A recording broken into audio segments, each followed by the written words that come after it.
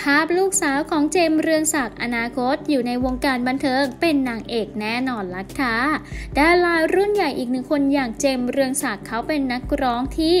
ก่อนจะมาเป็นดารานั้นก็โด่งดังมาก ๆ เลยแหละค่ะ เจ้าตัวนั้นพบกับรักสาวนอกวงการค่ะ แต่งงานมีลูกสาวด้วยกันหนึ่งคน ก็คือน้องเมดา ซึ่งได้เปิดตัวลูกสาวให้เห็นกันทางไอจีไปแล้ว ลูกสาวของเขาจะน่ารักขนาดไหน มาชมภาพไปพร้อม ๆ กันค่ะ